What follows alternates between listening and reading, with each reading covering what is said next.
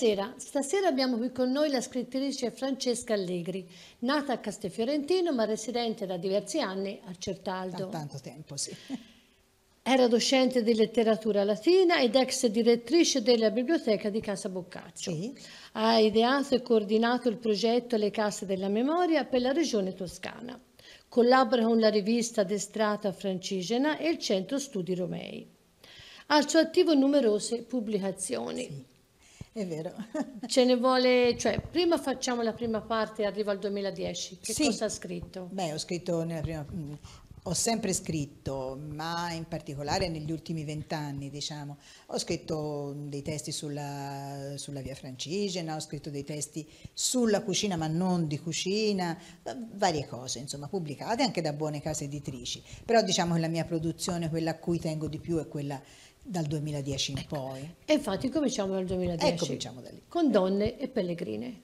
Sì, io... Ce ne vuole parlare? Sì, certo. Io, ehm, come le ho detto, collaboravo con, collaboro, Covid permettendo, con il professor Stoba- Stopani per convegni, che è uno dei massimi studiosi della via Francigena. E ehm, così mm, mi è venuta la domanda spontaneamente, eh, ma le donne pellegrinavano? E allora ho cominciato a occuparmi del pellegrinaggio femminile.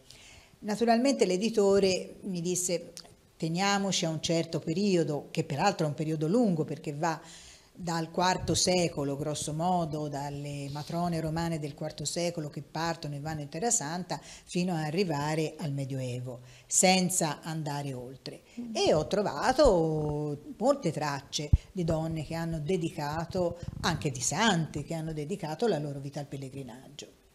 Però in questo suo pellegrinaggio lei dopo si è dedicata a un'altra donna, Sì, perché Cristina Trivulzio di Belgioioso. Vivo e gioioso, proprio lei, perché ehm, era rimasto fuori, perché Cristina Tribuzio di Belgioioso è una patriota, quindi siamo eh, negli anni della, della rivoluzione italiana, cioè del- del nos- della nostra unità. Lei era amica di Mazzini, aveva fatto parte della Carboneria e quando ehm, c'è la Repubblica Romana, 1848-1849, lei partecipa alla Repubblica Romana.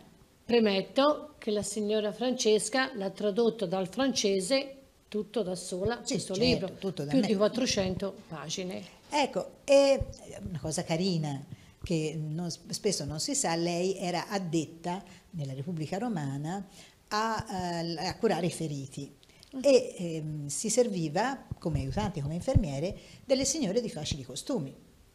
E, e dove le portava? Dentro i monasteri di clausura, perché nei monasteri di clausura c'era posto, i feriti venivano ricoverati lì, curati da, diciamo così, da signorine un po' facili, con grande scandalo delle Eh, suore, altro tanto per, di- dentro un tanto per dire. Quando arrivano, quando arrivano i francesi, lei naturalmente deve fuggire come va via Garibaldi, no? che va poi nel, Anita muore nella Sì, sì. Lei fugge, prende la nave insieme alla figlia, c'è una ragazzina di una decina d'anni, la governante della figlia. E cosa fa? Siccome è una donna molto ricca, molto abbiente, si compra una eh, fattoria. E non in Inghilterra, non in America, nel centro della Turchia, perché lei pensa di farne un luogo di appoggio per i rifugiati politici italiani che sono dovuti Un fuggire. po' lontano. È un po' lontano e tutto in un mondo molto diverso dal suo, da Certo, quello che conosce. Quando, vicino a Ankara. Quando lei è eh, lì, se ormai si è stabilita da un po' di tempo, c'ha il problema, perché lei è veramente credente, molto religiosa, come è giusto, di far fare la comunione alla, alla bambina, alla bimba. Cosa sarebbe stato normale prendere, anche a quei tempi non era poi difficilissimo, da Ankara andare a Istanbul, c'era un messo pontificio e lì trovava preti cattolici quanti ne voleva. No, ma Cater- Cristina fa tutto. Era troppo facile. Ecco, Cristina fa tutto a modo suo. Mette su una carovana, fra l'altro c'è con lei il marchese Antinori che poi un diventerà un esploratore, che era un, un farmacista, una su una carovana e parte. Dice la mia bambina deve passare a comunione a Gerusalemme il giorno di Pasqua. Sei mesi per andare, sei mesi per tornare. Che cosa fa però durante questo viaggio? Lei scrive tutti i giorni, tappa per tappa, un articolo che manda a una rivista che è la Revue du Monde a Parigi. Quindi una giornalista. È una grande giornalista, una cattiva scrittrice perché scrive dei romanzi non belli, francamente io me li sono sorbiti per dovere, ma non li consiglio. No, non le piacciono. Ma come giornalista è fantastica, è veramente fantastica, perché sa cogliere il momento, sa cogliere l'attimo, sa cogliere l'ironia, fa anche ridere, ci sono delle storie bellissime. Eh, quando per esempio gli dicono proviamo l'ashish, l'hanno provato tutti, proviamolo, è quello che gli succede quando lei fuma questa roba. Um, oppure entra negli harem e questa è la parte più seria. Che lei ci può entrare perché essendo donna. Eh, tutti i viaggiatori Giusto. occidentali eh, non erano certo. precluso, mentre lei è donna, viene accolta negli harem, nessuno poi dei suoi ospiti, nemmeno uomini, le fa mai uno sgarbo o pensa di non lasciarla più andare, no, no, però lei lo vede la vita degli harem ed è una cosa tristissima, è veramente atroce, veramente brutta la vita di queste donne ammocchiate, sporche, incolte, eh, che muoiono giovanissime, insomma è veramente desolante. Cioè lei praticamente ogni tappa che faceva scriveva cosa vedeva, Beh, non solamente gli harem, per esempio le, le, la produzione, le industrie, i paesaggi, i monumenti, quello che vedeva, soprattutto però una donna pratica, le interessa come coltivano, come fanno, fanno le miniere, come queste cose qua le interessano approfondiva molto. le cose, diciamo. Sì, approfondiva molto, era una donna molto intelligente e anche molto colta. E sempre per rimanere in tema di donne, qui solo donne, solo donne. andiamo al fuori dall'ombra. Prima cosa, il titolo, perché fuori dall'ombra? Ecco, io l'avevo intitolato, nei miei appunti era intitolato eh, Le donne non famose. Volevo fare un libro su donne che non fossero famose. Poi con l'editrice abbiamo detto no, un po' strano un titolo Le donne non famose.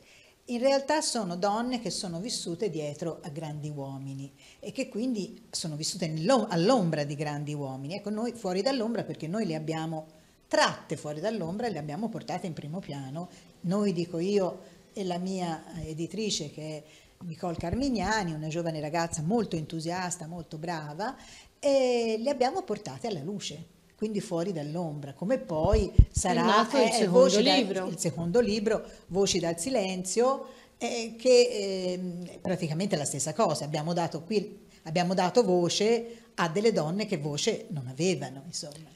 Senta, in tutte queste donne che lei ha descritto molto bene, ce n'è una che in modo particolare che lei ama, ci si sente più attratta? Io la mia l'ho già scelta. Me lo dice dopo. Glielo dico dopo. Le... Ma tante sono, qualcuna mi sta antipatica, eh? qualcuna ah, mi sta antipatica, sì, ma molte invece sono simpatiche e hanno delle vite per cui i romanzi sem- sembrano niente, no? Eh, che devo dire, per esempio, mi è molto, molto particolare è la seconda moglie di Garibaldi che fu moglie sua per due ore. E non le dico perché, leggerà il libro e vedrà. Sì, sì, sì, sì. sì no, lì va letto il libro. perché? Perché un romanzo non potrebbe sì, essere sì. la stessa cosa. Oppure una donna che nessuno conosce, che stette dietro a quattro grandi... Però, però che a quell'epoca erano furbi, eh? Sì, cioè, sì, sì, fatto sposare per due ore, bene, no, no, no, no, non svegliamo, non svegliamo, no, no, no. No, un'altra che stette invece dietro a un uomo, dietro a quattro grandi uomini, che perché sono grandi, sono dei classici, è Freda Kelly, che eh, fu la segretaria dei Beatles, Beatles, per esempio, ma la, moglie di, ma la moglie di Hitchcock, per esempio, o la um, Joanna Bonger, alla quale dobbiamo tutto Van Gogh, era la cognata e le dobbiamo tutto. Ma lei quale aveva in mente? Io ho scelto l'amante del Baldini. Ah, la, la Piccolomini, sì. la Bonarelli, e la beh, Costanza. C'è, c'è un bel, c'è bellissimo. C'è un bel curriculum, eh? eh, eh vuole le racconti la storia? Brevemente, brevemente, ce la racconti, via, sì. se no leva, leva tutta la... Eh, vabbè, però brevemente ce la Dunque, dico. lei era la moglie di Bonarelli che era un collaboratore di Bernini ed era l'amante di, Bernini, di Gian Lorenzo Bernini. Eh, a un certo punto però Bernini ha dei sospetti, si apposta una notte e vede che da casa sua non esce il marito che sarebbe stato normale, ma esce suo fratello Luigi Bernini. Apriti cielo, spalancati terra. Gian Lorenzo rincorre con uno spadone Luigi e lo vuole ammazzare. glielo levano di sotto, lo mandano via, lo mandano a Bologna, se no questo ammazza il fratello, ovviamente, ma fa di più. Lui ehm, manda un servo con un dono de, de, de, del vino in dono alla Costanza e in realtà questo servo la, la, ha il compito di sfregiarla. Lo sfregio era tipico delle prostitute. Che quando... Eh, perché quando l'hai fatto eh, lo, ce lo, sì. porti, lo porti sempre. Sì. Cosa succede poi? Che il Papa fa sposare Gian Lorenzo Bernini per tacitare lo scandalo e lui si sposa con la più bella ragazza di Roma, la quale appena entra in casa dice il ritratto della tua amante via. Non ce lo vuoi, certo. Eh, Intanto è vero, non è a Roma, è a Firenze, eh, all'Uffizio, sì, sì. andate a vederlo perché c'è questa donna bellissima, un ritratto diverso da, tutto, da, quello di tutte le altre donne di Bernini che sono delle dame, tutte vestite, tutte, no, lei è coi capelli semisciolti e soprattutto con la camiciola qui aperta con due o tre bottoni con, che ci fa vedere fa vedere e non vedere, diciamo. Era l'amante. Era l'amante, eh. era l'amante. E lui se l'era fatto per sé, eh, non per venderlo.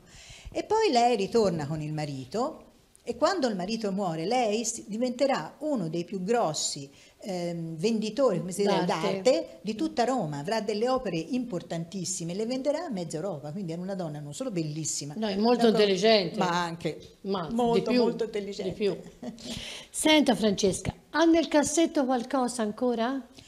Eh sì, sì, ho nel cassetto, ma diciamo che è quasi mezzo fuori del cassetto mm. perché sarà pubblicato mm, a breve.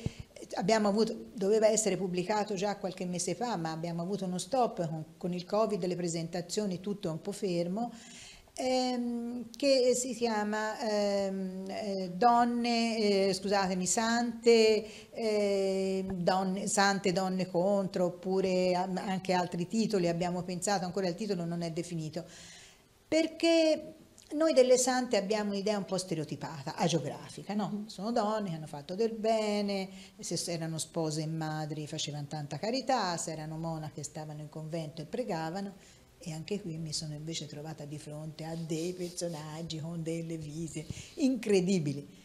Tanto per dirle le mm. famose suore, le famose mh, mm, sante come Santa Verdiana che si chiudono no? e sì, stanno sì. 30 anni.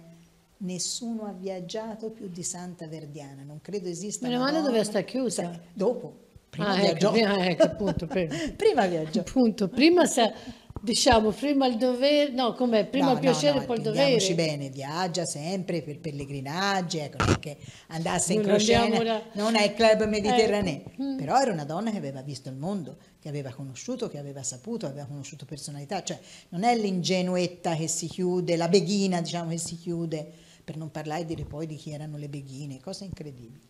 Eh, lo scopriremo nel lo prossimo romanzo. Lo spero di sì. Francesca, quando scrive? In genere scrivo nel pomeriggio, ehm, la mattina faccio tutte le cose mie, le cose che mi servono, le commissioni, tutto quello che si deve fare e il pomeriggio, il pomeriggio scrivo. Però non è una cosa così, così irregolare, posso magari scrivere alcuni pomeriggi, poi alcuni no, alcuni no. La notte io non sono capace di fare niente. Ecco, ci dedica tutti i suoi pomeriggi, sa come mm, passare la giornata. Non, eh? non come tu, non tutti naturalmente. E qualcuno... quando lei era a scuola? Uguale? Sì, quando era a scuola allora era un po' più difficile ritagliarsi il tempo. Perché il signore è un insegnante, cioè è eh, stato un insegnante. Stato. E quando, quando, insegnavo allora era molto più faticoso, però devo dire che avevo anche diversi anni meno, quindi la reggevo Rimaneva tutto più facile. La reggevo, la reggevo di più la fatica, sì. Senta Francesca, vuole, ci vuole dire qualche altra cosa su di lei? Sì, una cosa Prego. ci terrei ed è questa. Quando, eh, eh, come le dicevo, io sono una persona curiosa e, e scrivo perché le cose mh, mm, mi destano curiosità, le, le, note a pie pagina, le persone che vengono messe in nota, no? quelle figure che rimangono marginali e sono quelle che mi interessano. Ma io mh, mm, mi sono data un compito che è questo Dunque ci sono eh, gli accademici, gli storici che insegnano all'università, che studiano gli, gli studiosi, che sono a un livello alto e loro fanno un lavoro che è diverso dal mio. Eh, io non vado negli archivi, non compulso documenti, io voglio essere divulgativa. Vorrei che attraverso queste mie biografie, la mia speranza sarebbe di avvicinare le persone a, alla storia, alla cultura, alla letteratura, penso che le persone, che la gente generalmente sia un po' sottovalutata, si creda che le persone amino soltanto spettacoli sciocchi come ne vediamo tanti, in tante televisioni, mentre invece sono convinta che se noi riusciamo a porgere degli argomenti seriamente strutturati, lavorati con passione e con precisione, ma a livello, diciamo così, più semplice, la gente si appassiona. Io ho fatto delle conferenze di linguistica italiana, naturalmente non a livello universitario, che, in cui la gente mi ascoltava rapita, perché la gente ha fame, ha desiderio di sapere. E infatti io vorrei concludere questa intervista con ciò che lei mi ha detto. Io mi propongo di rendere la storia semplice, divertente e su dati precisi. Lei mi dice, la gente ha fame di cultura. Ne ha tanta fame ed è un peccato non dargliela. Ci sono degli ottimi divulgatori, pensiamo per tutti agli, ai due Angela, al professor Barbero, nel, più nel campo diciamo, scientifico, arti della storia dell'arte, meno per la storia e meno ancora per la letteratura. Mentre invece io sono convinta che se io leggo a qualcuno la lettera di Machiavelli e di Guicciardini, secondo come gliela presento, diventa una cosa appassionantissima. Sì, senz'altro, senz'altro, come a me mi ha appassionato leggere i libri e Grazie. Grazie Senta Francesca, niente, io la ringrazio della bellissima intervista che abbiamo fatto. Mm, ci ho fatto proprio un'intervista tutta donne. Sì, quello sì. Questa volta siamo donne. Siamo, sono proprio contenta di averlo ospitata e mi auguro che possa ritornare quando pubblicizza il suo prossimo libro. Grazie. Le faccio tanti tanti auguri e noi la saluto e noi ci vediamo la prossima settimana. Buonasera a tutti.